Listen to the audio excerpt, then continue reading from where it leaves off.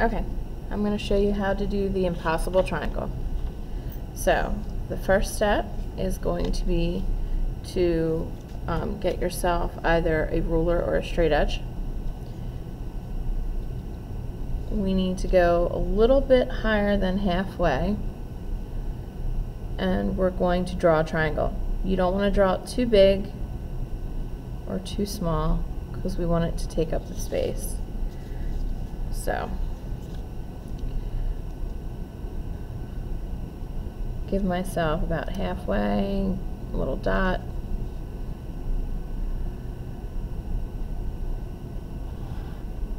Okay.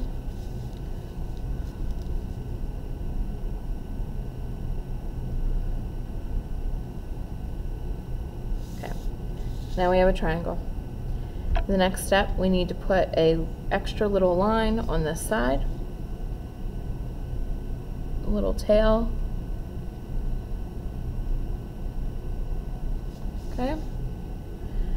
And then we're going to do it on this side right here.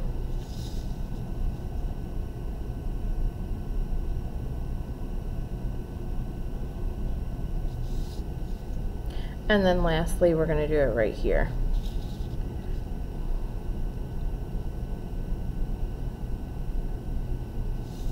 Okay. So now the next step, we're going to go from this and we're going to go past that.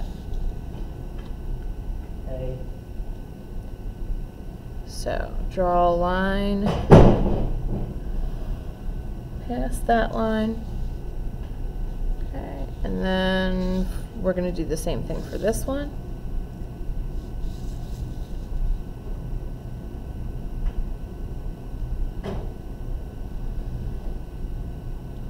And then lastly for this one.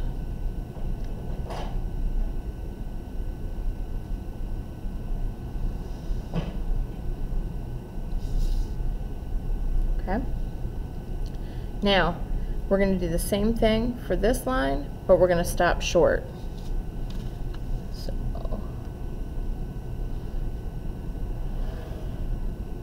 stop short.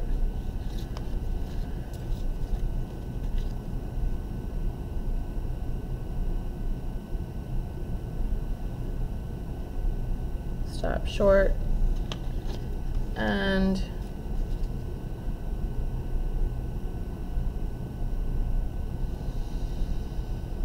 stop short. Okay. The final part is to connect these lines. So, draw a line connecting that one.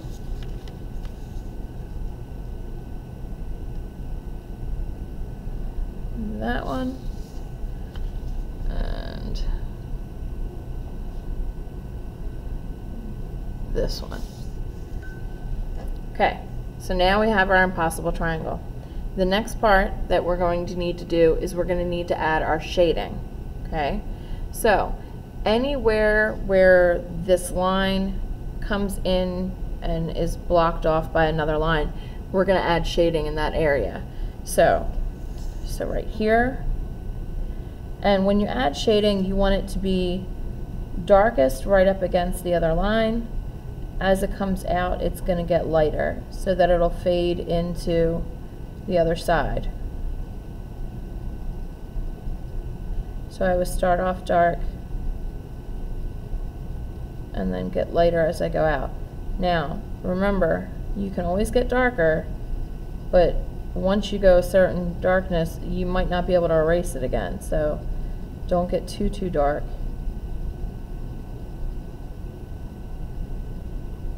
When you're farther out from the side. And it's just about layering. As I'm going out here, I'm doing it lighter.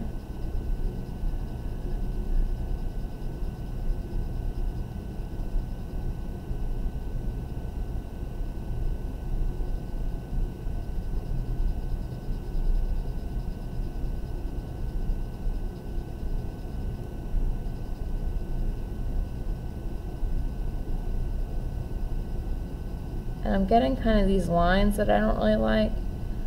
I'm hoping that I'll be able to smudge a little bit and that I'll be able to come clean so I won't have that. As I get towards the middle, I, I want to be really light. I don't want to be, I don't want it to be really dark. I don't want it to have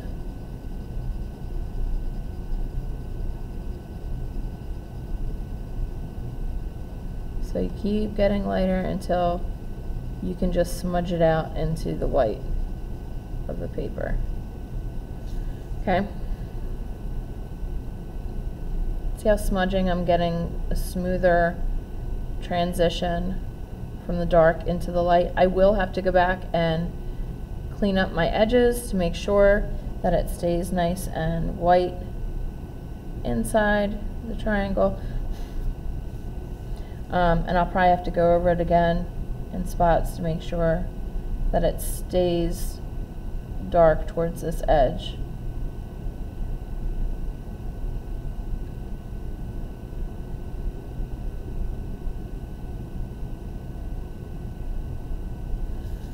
Okay. I'm going to do that same thing. Also, if you notice, it's a little bit lighter here and here. I want to make sure that that gets kind of filled into. So, right here. It to be a smooth transition. And then make sure to clean up this line too. Okay, we're going to do that for each one of these areas. So here, it's going to be dark. Here, it's going to be dark. So, I like to turn my paper. It's just how I work better So we're gonna do this. Dark.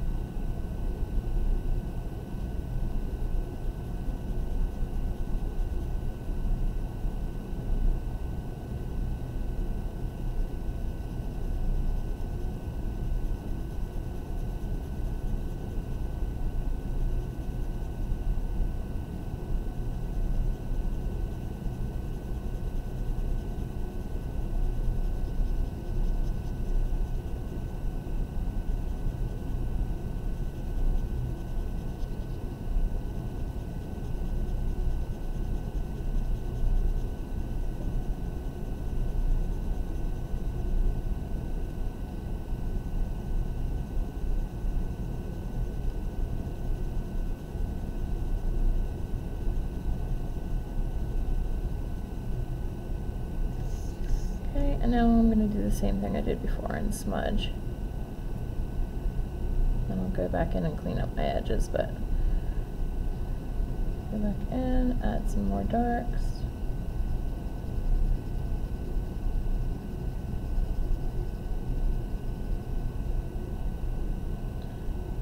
Sometimes if you have an actual drawing pencil and not just a number two, it, it helps because then it's not a softer lead and will blend easier, but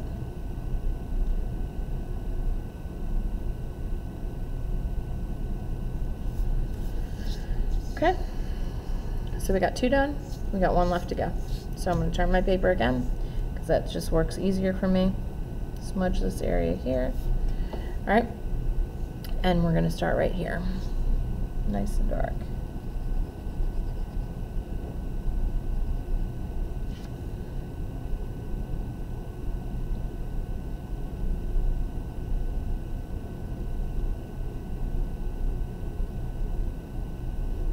I usually create a thicker line right up against it so that I don't get a lot of those areas where you see like a jagged line come across. I don't want that.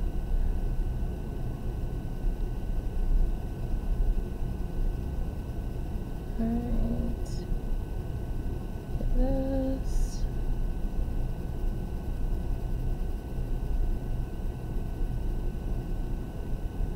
on my transitions.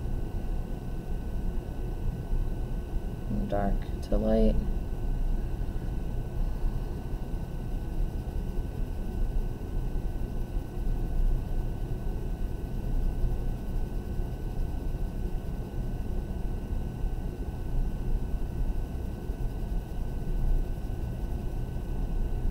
Got a little heavy handed there. Just gonna lighten that up.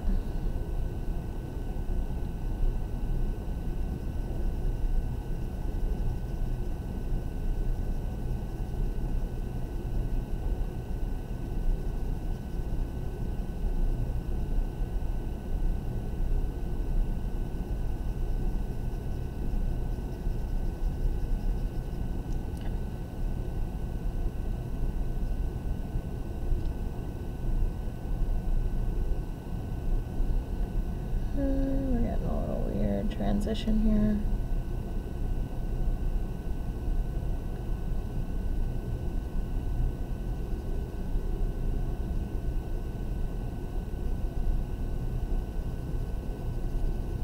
Just go over top of it.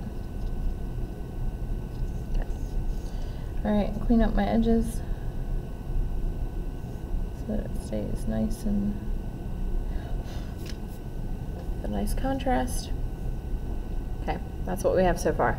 We're getting a little glare here. This is actually not white. It is a nice, even tone. Now, on each one of these corners where it's white here, I want to make it dark here and get lighter. So, not quite as dark as the other corner, but I want there to be a noticeable difference from one side to the next.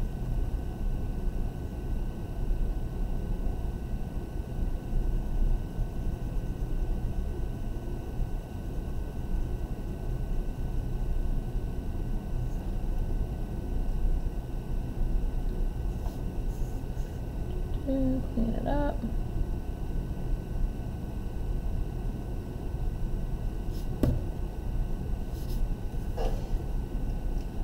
Okay, we're gonna do the same thing here.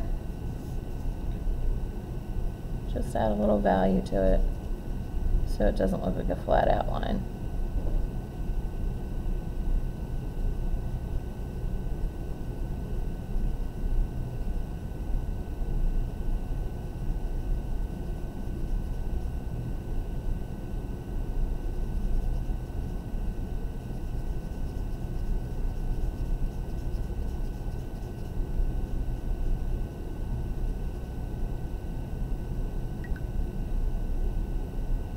Okay.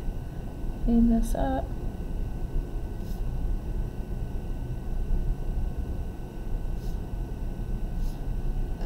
Okay. And I'm gonna do the same thing on this last corner. Come on in.